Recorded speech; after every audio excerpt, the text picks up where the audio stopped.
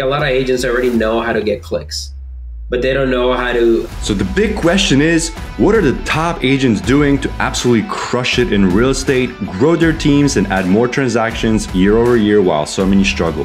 If you ever thought about this, you're not alone. No one has been able to get the answers until now. We spent the last few years helping agents sell billions in real estate, rubbing shoulders with top producers, which got us thinking how can we expose more people to these insights to help raise the standard in the whole real estate industry? We then realized that we could help bridge the gap by getting the secrets from the best of the best so that you can succeed. My name is Andrew Dunn. And my name is Peter Michael. Welcome to Elite Agent Secrets. What is, you know, the top performing stuff? I know this is the final thing you want to speak about and just kind of share with people if they're wanting to go out and do this themselves, like the best creative that they can go and use right now, which is going to get them results today. So if they went and launched, I know, Google ad, Facebook ad, YouTube ad, what you're going to go into? That, that's a tough question to answer because we have tons of headlines, right? We use search ads mostly. Let's do a couple then. Let's throw a couple out there. Uh, I don't even know, man. Um, let me let me see what I got there. So so as as you're doing that, I think maybe a good question as a follow up would be is what constitutes a good creative that's working, right? Not like a specific headline, but well, the headline is the good creative. I think it, it's easier to describe it the same way that you're saying it, Peter, because honestly, we get so many things. It's dynamic, right? It works. Some people want to read it this way. Some people want to read it the other way it's about the offers itself like you know but getting clicks that's what makes a good ad right? You get the clicks. Right. Now once you get the click how do you get the person to give you their number? That's what the job of our landing pages right, right. For people to give us their number and their information. But honestly like we do everything from seller guides to like home valuations to buyer ads. But it's about what happens after the click, what for us works in generating the sellers, right? It's we filter them down through conditional logic. Yeah, right? the questions we, you ask. The you questions that we ask, we we have nailed down that process so so well that by the time we get the lead, we either get the finger because they don't want to get the call, and that's cool. But if we get that conversation going, then like you know 80% of the times they're actually looking to sell. Right? And and that to me is a big difference. I went from 20% of the times people wanted to sell to like yeah. the opposite right? It's obviously a lot of work and it's expensive. Uh, as i said some markets are really good some markets are not. But it works. It's just a matter of like how much is a seller worth to you right? How much are you willing to pay for that prospect right? Like, you know, even if you go out and do it yourself, are you willing to pay a hundred for somebody to hang up on you? Are you willing to take that risk? Right. So, so, so here's the thing to put things into perspective, because I think a lot of agents that are looking at lead generation, they're looking at it a little bit the wrong way.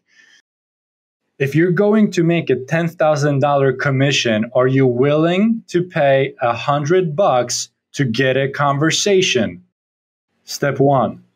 And then are you willing to spend a thousand dollars, aka have 10 conversations to convert one of those leads, which means you actually spend a hundred dollars per conversation, a thousand dollars in total, which means to acquire a client, it took you a thousand dollars to make 10. Is that worth to you? You have to break it down like this. You can't be thinking these leads are going to be dollar store leads, aka one dollar here, one dollar there, maybe two dollars max, and you're going to make a 10k commission. Like, do you expect to like I like I said again? Do you expect to walk into Rosewood's dealership and pay equivalency of a Honda Civic? It just doesn't work that way, right? So if your area, your average commission is 5K, then probably you'll be at the lower end of the spectrum for a qualified, you know, quote unquote seller. But if you're a higher end, higher end area like myself, you're probably going to spend more. Mm-hmm. Now, here's the beautiful part is the better you get, the less it's going to cost you to acquire a client, aka the new listing. So if you're getting one out of 10, maybe you'll get two out of 10, three out of 10. And if you're batting in baseball, three out of 10, I don't know anything about sports, so don't don't leave comments saying, "Oh, you messed this up." But if three out of ten puts you in a Hall of Fame, I'm like pretty certain, right? If you it's like 0.3 batting average, you're a Hall of Famer. So, which means that if you convert for every 10 people you talk to, three deals, and your average commission is 10,000 a pop, that means 30K. You, you just spent a $1,000 to make $30,000. So shut the fuck up. These leads don't suck.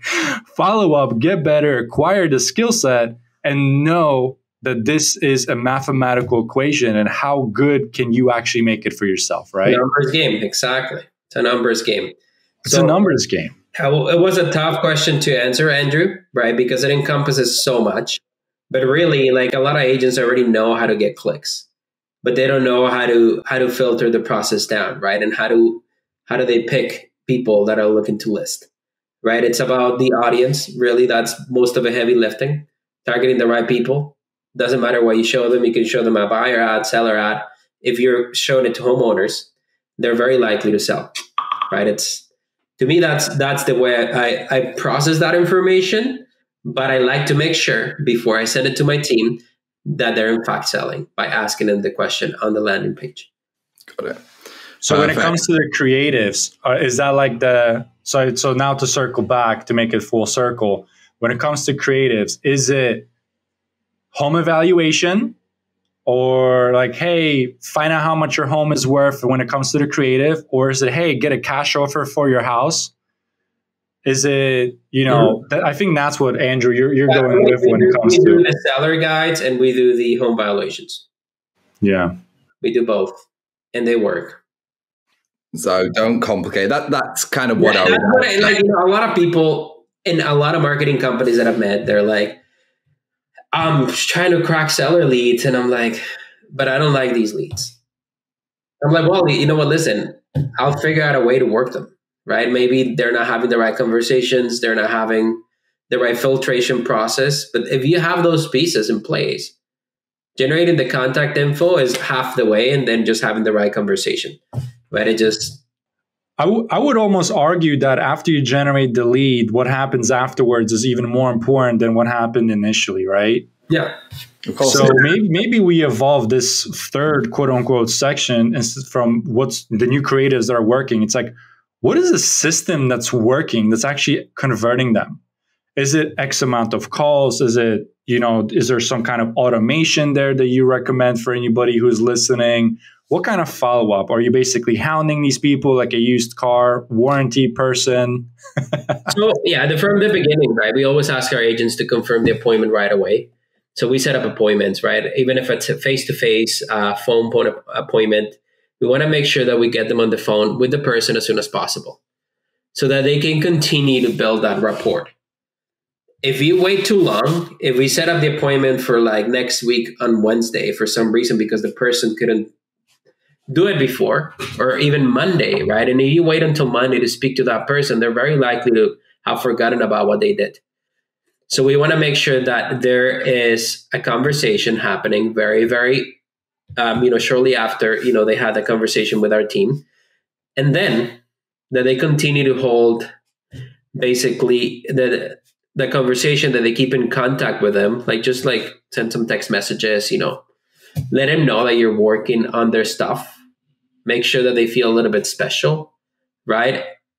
And honestly it's just about engagement right? Like you know we want to get them to come to the home as soon as possible so that they can generate that listing that they can generate that rapport and get people to sign with them.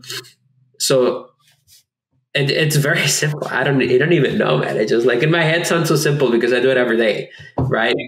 But confirming, showing up.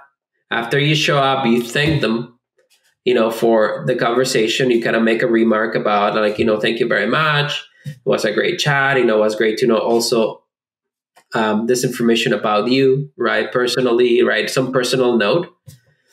And then after that, it's just like, okay, you have to continue to hold something that they want. For example, people want, uh, if it's a buyer, right? If they're buying a home, I'm gonna get I'm gonna try to get you some listings, right? I'm gonna try to get you more information about maybe some private listings that may come up in my brokerage, right? So try to hold something that they want from you after the fact because 80% of them they're likely to buy, right? So they can use something as simple as private listings, you know, back up, back pocket offers, right? As something that they're gonna want from you, just to keep in touch, right? Hey, by the way, you know, I think something's coming up next week over the next couple of weeks um, do you mind if I come down, you know, to go over that information again? Maybe sign the paperwork, whatever. But at that point, if you're already in touch with them, they're like very likely to be your client. It's just about how do you conduct yourself. Uh, but obviously, if you're like the opposite of the spectrum and you wait for that appointment to happen and then you call them on the time of appointment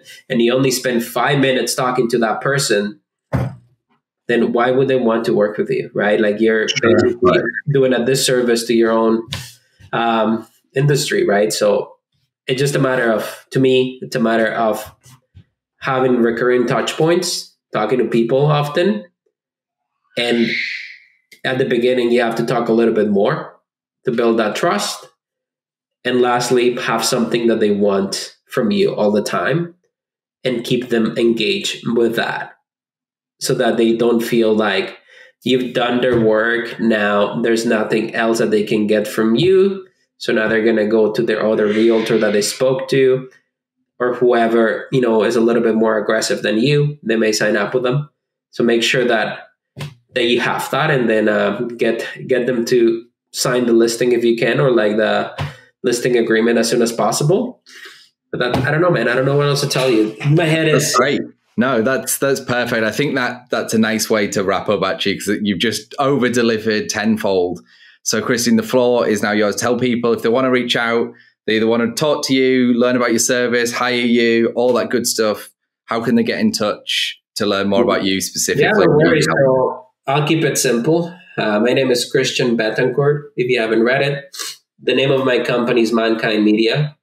And you can reach out to me um, at my telephone number, 416 414 9705. That's the best way to reach out.